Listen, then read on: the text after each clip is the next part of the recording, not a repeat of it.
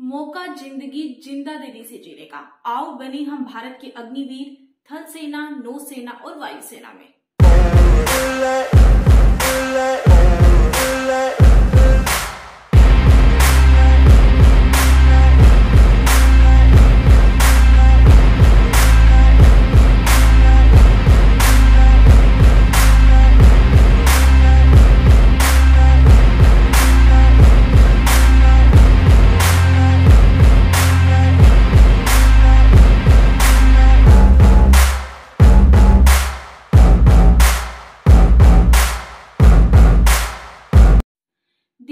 राजभवन में defence minister Rajnath Singh की उपस्थिति में तीनों सेनाओं के प्रमुखों ने इस स्कीम को लॉन्च किया।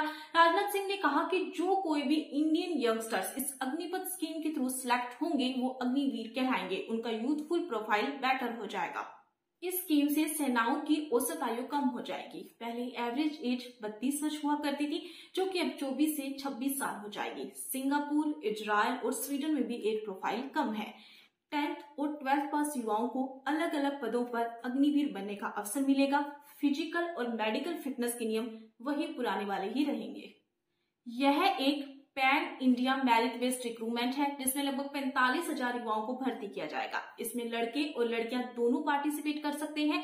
इसमें युवाओं को तीनों सेनाओं थल सेना, जल सेना और वायु सेना में जो रेगुलर आर्म फोर्सेज है, उनके साथ में भी सर्विस करने का अवसर मिलेगा।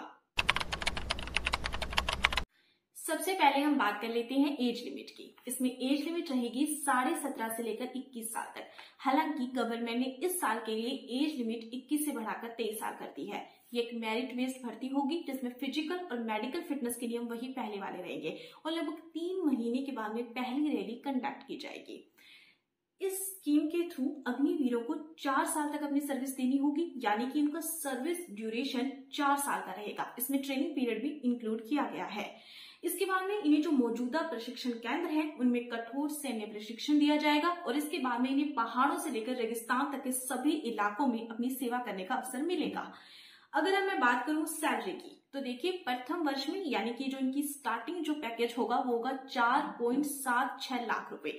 यानी कि इन्हें पर मंथ लगभग तीस हज़ार तक की सैलरी मिलेगी।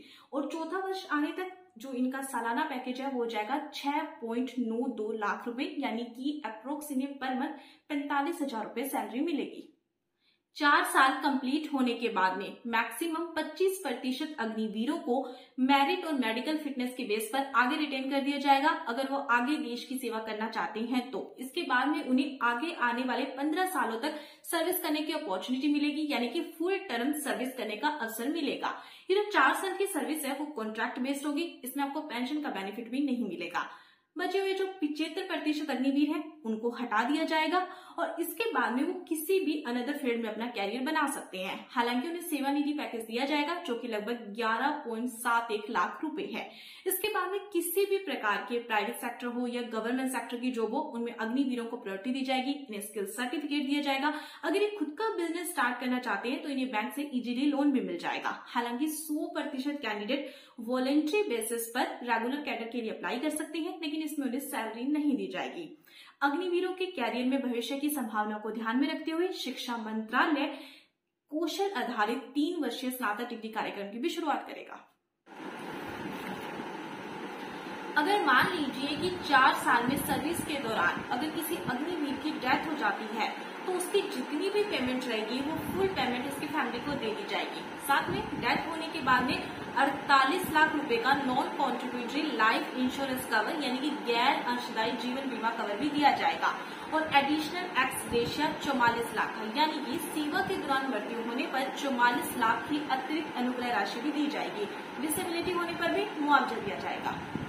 अगर आप इस स्कीम के बारे में खुद से रीड करना चाहते हैं तो आप गवर्नमेंट की ऑफिशियल वेबसाइट www.mygov.in पर जा सकते हैं। वहाँ पर आपको इस स्कीम के बारे में पूरी डिटेल में जानकारी मिल जाएगी। इसके बाद में होम मिनिस्टर ने भी कहा है कि चार साल पूरा करने वाले इन अग्निवीरों को सीएपीएफ और असम राइफल्स की भर्ती में प्राथमिकता दी जाएगी। वहीं हरियाणा के मुख्यमंत्री मनोहर लाल खट्टर ने भी कहा है कि इन अग्निवीरों को चार साल के बाद में सरकारी नौकरियों में भी प्राथमिकता दी जाएगी। कुछ का ऐसा मानना है कि सैलरी और पेंशन में कटौती करने की वजह से स्कीम को लॉन्च किया गया क्योंकि डिफेंस के बजट का एक बहुत बड़ा हिस्सा सैलरी और पेंशन में चला जाता है। तो गवर्नमेंट के सामने मिलिट्री मॉडर्नाइजेशन एक बड़ा चैलेंज है। अगर मैं बात करूँ सन 2020 की तो 2020 में चाइना का डिफेंस बजट था एक सौ अठहत्तर बिलियन डॉलर, वहीं भारत का डिफेंस बजट था बेहतर बिलियन डॉलर। 2020-21 की अगर हम बात करें तो भारत ने 38 बिलियन डॉलर आर्मी पर खर्च किए थे, जिसमें से केवल 7 बिलियन डॉलर ही कैपिटल एक्सपेंडिचर पर खर्च हुआ था। इस स्कीम के लॉन्च होने के बाद से ही युवाओं ने इसको लेकर विरोध करना शुरू कर दिया है। बिहार, मध्य प्रदेश, हरियाणा, नई दिल्ली, जम्मू, झारखंड, राजस्थान सहित अनेक राज्यों में हिंसक विरोध प्रदर्शन हुआ। कई स्थानों पर सड़कों और रेलमार्गों को रोका गया। बिहार में कई ट्रेनों में आग लगा दी गई।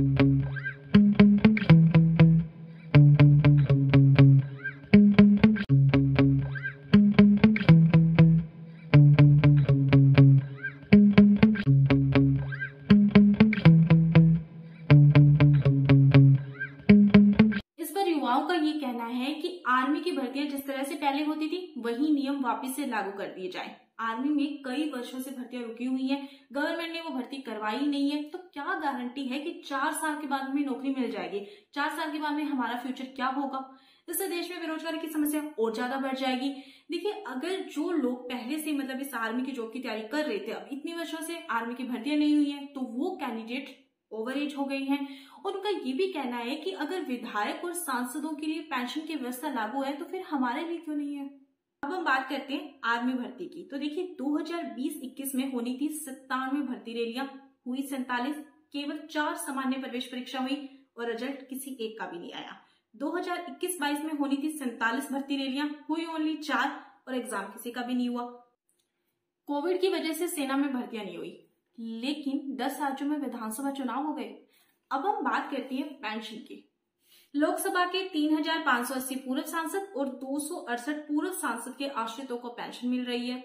राज्यसभा के 508 पूर्व सांसद और 219 पूर्व सांसदों के आश्रितों को पेंशन मिल रही है। 2017-18 में पूरे सांसदों की पेंशन पर हर महीना अट्ठावन करोड़ रुपए खर्च हो रहे थे, जो कि 2018-19 से बढ़कर 70 करोड़ 50 लाख रुपए हो गए।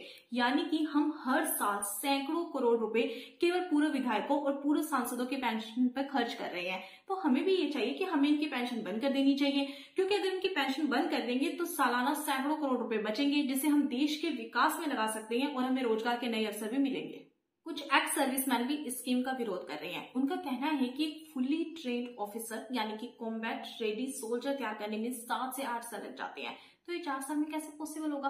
अगर मान लो कि आप चार साल में उन्हें तैयार करते हैं तो वो पुअरली मोटिवेटेड होंगे। और दूसरी बात, उन्हें ये पता होगा कि उन्हें चार साल के बाद में अपने दूसरे फ़ील्ड में अपना कैरियर बनाना है तो फिर वो मिलिट्री के दौरान ज़्यादा रिस्क नहीं लेना चाहेंगे। और दूसरा इंडियन मिलिट्री के जो बेसिक एथोज होते हैं, जैसे कि नाम, नमक और निशान, वो fighting civil contract based employment में नहीं आएगा। Retired lieutenant general Vinod Bhatia ने कहा कि सशस्त्र बलों के लिए खतरे की घंटी। इसका पायलट प्रोजेक्ट लाइबिनाही से लॉन्च कर दिया गया। समाज के सैन्यकरण का खतरा। करीब चालीस हज़ार युवा हर साल बेरोजगार हो जाएँगे और ये अग्निवीर हथियार चलाने में भी पूरी तरह से प्रशिक्षित नहीं होंगे। इससे किसी को कोई फ़ायदा नहीं होने वाला है। वहीं vice chief lieutenant general B S Raju ने कहा कि 12 लाख की स्ट्रॉन्ग आर्मी में। इसमें मैंने एयरफोर्स और नेवी को इंक्लूड नहीं किया है।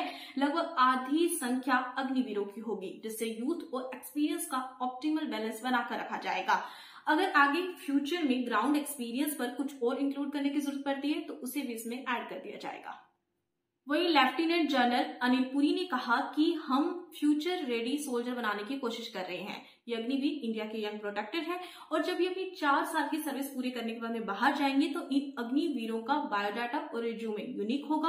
और कल को मान लो कि अगर वोर होता है तो इनको पता होगा कि क्या और कैसे करना है। आपको गवर्नमेंट की ये स्कीम कैसे लगी? इस पर आपकी क्या राय है? और अगर आपका इस स्कीम से रिलेटेड कोई भी क्वेश्चन है तो आप मुझे कॉमेंट सेक्शन में पूछ सकते हैं। इस वीडियो में आज इतना ही। फिर मिलेंगे एक नई वीडियो के साथ में। तब तक के लिए धन्यवाद।